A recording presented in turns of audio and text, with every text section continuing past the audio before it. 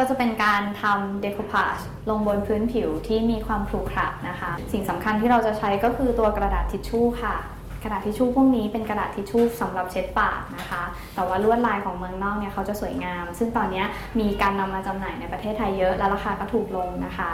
อุปกรณ์ของเราก็คือจะเป็นตะกร้าค่ะ สิ่งสำคัญต่อไปที่เราจะต้องมีก็คือสีอะคริลิกสำหรับงานศิลปะนะคะ ใช้ในการลงสีตะกร้า แล้วก็แต่งเติมสี นอกจากนั้นก็ยังมีกาวเดโคพาสูตรหนึ่งนะคะ แล้วก็อะคริลิกแวนิช จะเป็นแบบมันหรือแบบด้านก็ได้เขาจะมีแปรงทาสี 1 ชิ้น แล้วก็แปรงสำหรับทาเคลือบนะคะ 1 ชิ้น ที่ขาดไม่ได้ฟองน้ำค่ะ เพราะว่าเราเรามีวิธีการติดกระดาษทิชชู่พวกนี้ โดยการที่ใช้ฟองน้ำกดนะคะโปรดฟังอีกครั้ง อุปกรณ์ประกอบด้วย กระดาษทิชชู่ตะกร้า สีอะคริลิก กาว น้ำยาเคลือบ แปรงทาสี และฟองน้ำถ้าเกิดว่าคุณครูทำชิ้นงานออกมาสำเร็จก็จะเป็นแบบนี้ เราจะรวมไปถึงเทคนิค การหุ้มห่อนะคะชิ้นงานด้วย แบบนี้เรียกเป็นภาษาอังกฤษว่าเทคนิค wrap and patch ก็คือการหุ้มและการฉีกแปะ เพราะว่าการที่เราจะให้ทิชชู่มาต่อลายกันได้แบบนี้ เราจะต้องมีเทคนิคเวลาที่กระดาษทิชชู่สองแผ่นมาชนกันไงคะเวลาที่เราหุ้มว่าเราจะฉีกยังไงไม่ให้เห็นรอยต่อนะคะเราเริ่มจากการทาสีตะกร้าก่อนค่ะ ก็คือเรียกว่าเทคนิค dry brush นะคะ dry brush เรียกง่ายๆว่าการใช้แปรงแห้งปาดสีนั่นเองค่ะ เริ่มจาก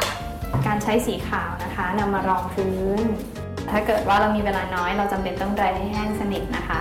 ขั้นต่อมาเราจะเริ่มวิธีการทากาวค่ะ เราใช้เป็นกาวเดคูพาสูตรหนึ่งนะคะกาวตัวนี้จะมีความเหลว เพียงพอแล้วก็เวลาทานเนี่ยค่ะจะทานง่าย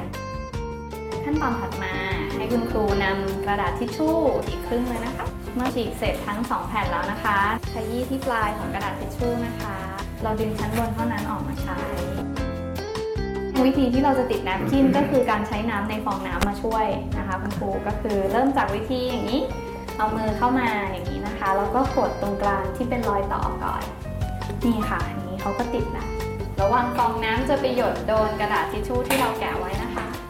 ขั้นต่อมาเนี่ยแหละค่ะ เมื่อกี้มันเรียกว่าแรปคือการหุ้มใช่ไหมคะ แต่ว่าเขายังไม่ถึงกัน เราก็ต้องมีการแทชก็คือตัดปาดเอามีเหตุผลที่ให้ฉีกเพราะว่าถ้าเกิดว่าคุณครูตัดเวลาที่ลายมาต่อกันนะคะ มันจะเป็นแนวเส้นตรงเลย แต่ถ้าครูฉีกแล้วครูติดอะค่ะ มันจะกลืนกันมากกว่า มันจะฟุ้งๆขั้นตอนต่อไปก็คือจะให้คุณครูเลือกสีเอาไว้ตัดขอบหูตะกร้านะคะ แล้วก็บริเวณตรงปากขอบตะกร้าค่ะ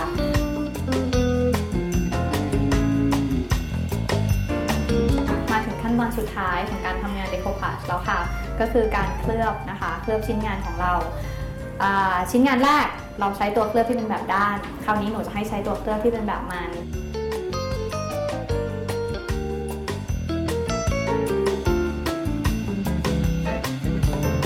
ค่ะแล้วเทคนิคที่ 2 ที่เราเรียนกันในวันนี้นะคะ คุณครูก็เรียบร้อยแล้วสำหรับตะกร้าสวยๆ ของแต่ละคนค่ะ คุณครูมีคำถามเพิ่มเติมไหมคะมีค่ะอยากจะถามว่า นอกจากกระดาษเช็ดปากนี่เราใช้เป็นกระดาษสาแบบบางได้ไหมหรือหนาได้ไหมค่ะหรือผ้าบางๆผ้าสำลีค่ะผ้าป่านผ้าสะสารูอย่างเงี้ยก็คือถ้าเป็นผ้านะคะได้ที่ที่เบลเคยทำมาเนี่ยเป็นผ้าคอตตอนนะคะคุณครูถ้าเกิดว่าเป็นผ้าคอตตอนของเมืองนอกเนี่ยลวดลายเขาจะค่อนข้างสวยงาม แล้วก็มีมีเป็นพวกลายดอกไม้ ถ้าเกิดเราให้น้องๆมาทำเนี่ยแทนที่เราจะหุ้มแบบนี้ให้สอนเขาตัดออกมาเป็นดอกค่ะ แล้วแปะลงไป แล้วก็ให้ติดแบบนี้ได้เลย วิธีติดเปลี่ยนจากเกาวันนี้ที่หนูให้ใช้สูตรหนึ่งใช่ไหมคะ แต่ว่าถ้าเกิดเราใช้ผ้าให้คุณครูแนะนำให้น้องๆใช้เกาลาเท็กซ์ได้เลย ไม่ต้องกลัวเรื่องการเหลือง เพราะว่าเราไม่ได้ใช้ไอตัวเนี่ยแนปคินไงคะคุณครูวรวรรณได้นำเอางานเดคูพาที่ทำบนพื้นผิวครุขระมาให้นักเรียนดูเป็นตัวอย่าง ก่อนที่จะให้นักเรียนจับคู่ ช่วยกันทำงานเดคูพาดบนวัสดุที่ครูเตรียมไว้ให้ เช่น ที่ใส่ขวดวน์ตะกร้าหวายขนาดต่างๆ และกระจาดใส่ของเป็นต้น ก่อนที่จะนำนักเรียนทำตามขั้นตอนไปพร้อมๆกัน วันนี้ครูนำเสนอพื้นผิวกรุขระ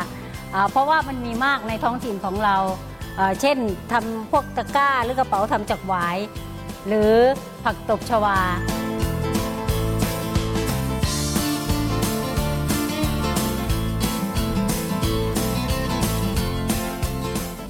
นี้เสร็จสองด้านแล้วนะคะในนี้กระดาษไม่พอเราต้องต่อด้านข้าง เราก็จะฉีกกระดาษอีกแผ่นหนึ่งลายเดียวกัน แล้วก็มาวัดดู ส่วนที่เหลือกระทางโค้ง ดอกจะต่อกันยังไง ด้านข้างมันจะมีรอยเส้นกระดาษนะคะ ถ้าเราไม่ต้องการให้ฉีกออกนะคะ ค่อยๆ ฉีกรอยเส้นกระดาษออก แล้วเราก็วางทาบ ลาย ลายอย่าให้มันทับกันมาก แล้วถ้าได้ลายที่มันชนกันพอดี มันก็จะดูกลมกลืนกันไปเลย เหมือนเป็นกระดาษเนื้อเดียวกัน ช่วงนี้เป็นการต่อลายที่ทำให้มองไม่เห็นว่าต่อกัน เพราะดอกมันจะไปชนกันพอดีนะคะแล้วเราก็จะกดให้มันติดกัน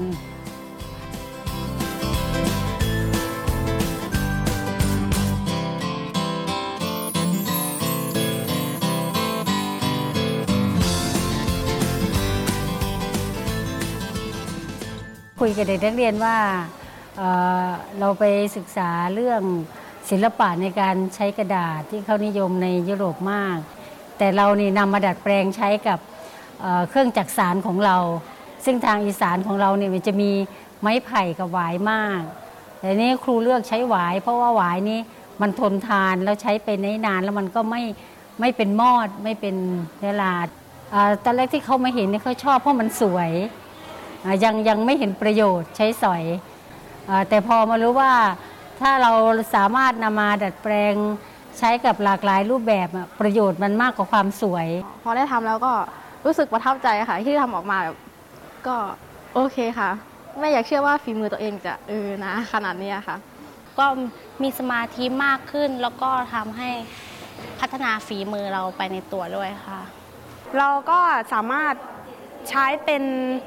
งานพิเศษของเราก็ได้ หรือว่าเราจะเอาไปเป็นการประกอบอาชีพเราก็ได้ ถ้าเกิดเราไม่มีงานทำเดคูพาดเป็นศิลปะงานประดิษฐ์แขนงหนึ่ง ที่กำลังได้รับความนิยมในปัจจุบัน แต่มีบางท่านที่ไม่เคยได้ยิน หรือเคยได้เห็นแต่ไม่ทราบว่าคืองานเดคูพาดสัปดาห์นี้ รายการครูพบกูรู จึงขอเชิญคุณครูทุกท่าน ร่วมเรียนรู้ รู้จักถึงขั้นตอนวิธีทำและเทคนิคต่างๆ ในงานเดคูพาดเพื่อจะได้สามารถนำไปใช้สอนให้นักเรียนที่สนใจได้ เดิมทีตอนที่พี่เริ่มต้นทำพวกงานประดิษฐ์อะค่ะ พี่ไม่รู้เลยว่าสิ่งที่ตัวเองทำอะมันเรียกว่างานเดโคพาดตอนแรกพี่เริ่มจากการทำกล่อง ก็คือใช้กระดาษแข็งต่อเป็นกล่อง เสร็จแล้วแทนที่เราจะใช้กระดาษห่อของขวัญเหมือนคนอื่นเขาอย่างเงี้ยเราเรียนทางด้านสื่อสารมวลชนมาไงค่ะก็ปริ้นภาพติดกล่องเอง แล้วก็ออกมาขายเล่นๆในขณะที่เรียนต่ออยู่ตอนนั้น การที่เราจะทำงานเดโคพา e ได้ดีอะค่ะ ก็คือพี่คิดว่าสิ่งสำคัญเลยอะมันคือความขยันก่อนนะ พี่เป็นคนที่ชอบอ่านหนังสือพี่อ่านหนังสือเยอะมาก เวลาที่เราอ่านหนังสือเราหาข้อมูลแล้วเราฝึกฝนนะคะ เราก็ ค่อยดูว่าเราชอบตัวไหนมากกว่ากัน อย่างบางคนทำงานเดโคพา e แต่ว่าไปเรียนเพนเพิ่มเติมเพื่อที่จะมาทำพื้นผิว ผลงานที่พี่ชอบอะตัวหลักๆ เลยอะมันเป็นตัวที่เวลาที่พี่ไปเรียน แล้วพี่ทำเพิ่มเพิ่มขึ้นมา อย่างเช่น ถ้า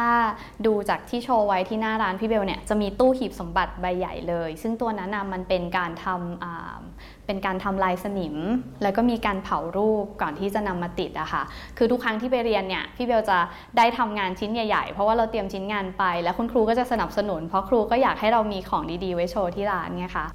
สำหรับพี่อะค่ะงานงานเดโคพาชเนี่ยทำให้พี่มีความสุขเวลาที่พี่ทำพี่เป็นคนที่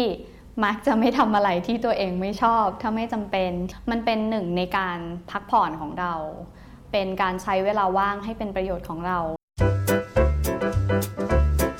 อยากได้แนวคิดใหม่ ๆ เพื่อมาเสริมการสอนให้ให้เปลี่ยนไปจากเดิมบ้าง ให้รู้สึกว่ามันไม่ใช่เรื่องเรื่องยาก ในการเวิร์กช็อปนี่ก็อยากรู้ว่า decoupage เนี่ยคืออะไร อยากรู้ว่าเอามานำมาใช้กับเด็กนักเรียนโรงเรียนนี้ได้อย่างไร ก็คือจริง ๆ แล้วเนี่ยก็สอนงานผ้า แต่จริง ๆ แล้วก็อยากจะหาเทคนิคใหม่ ๆ ที่จะเอามานำเสนอในการทำให้แปลกจากงานผ้าไป ก็อยากได้เทคนิควิธีทำที่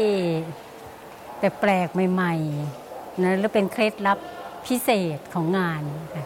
เพื่อที่จะได้นำมาเผยแพร่ให้นักเรียนต่อไป ไม่ทราบว่าแต่ละโรงเรียนของคุณครูนะคะ เคยได้ยินคำว่าเดโคพาชกันหรือเปล่าคะ มีใครเคยได้ยินมาก่อนไหมคะ ก็ไม่ได้ยินนะ พอดีได้รับหนังสือนี่แหละ พอได้รับหนังสือก็เลยมาศึกษาดูว่าเออลองเข้าเลยเลยเลยเข้าเน็ตดูว่ามันเป็นงานประเภทไหนก็เพิ่งมาเข้าดูตรงจุดนี้ก็สนใจดีเหมือนกัน ซึ่งจริง ๆ แล้วเนี่ยพอเราอาจจะไม่คุ้นกับคำว่า decoupage ไม่คุ้นแต่ว่าเลยจริง ๆ แล้วศิลปะเหล่านี้ค่ะมันมีมานานแล้วค่ะอืมอย่างอย่างตอนที่หนูเด็กๆอะค่ะหนูก็จะเคยอ่าที่โรงเรียนเขาก็จะมีสอนทำ papier-mâchéหรือว่าเป็นการตัดกระดาษ ติดลงไปบนกล่องหรือบนวัตถุต่างๆนะคะ papier-mâché เป็นแขนงหนึ่งของงาน decoupage decoupage แปลง่าย ๆนะคะว่าเป็นศิลปะของการผนึกภาพลงบนวัตถุค่ะคนไทยเริ่มเริ่มรู้จักกับเจ้าตัวงาน decoupage จากทิชชู่ ทิชชู่พวกเนี้ยค่ะที่หนูนำมาให้ในเซตเนี่ยเป็นทิชชู่ที่มาจากเมืองนอก ของคนไทยเนี่ยผลิตน้อยมาก แต่ว่าทิชชู่มีข้อดีในการที่เวลาที่เราผนึกลงบนวัตถุต่างๆนะคะเขาจะเนียนลงไปเลย คนก็เลยนิยมกัน แล้วคนไทยก็เริ่มรู้จักงานเดโคพาดโดยกระดาษทิชชู่